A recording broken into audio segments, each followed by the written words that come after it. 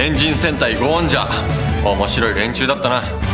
我々とは違う戦い方でしたが正義を愛する気持ちは同じでしたね。うん。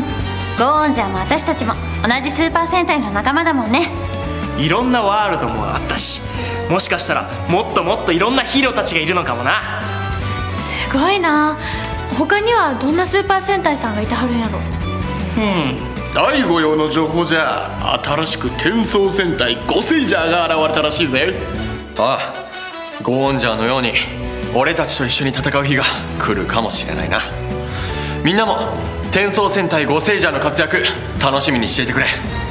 じゃあみんなまたなバイバイ。バイバイ。See you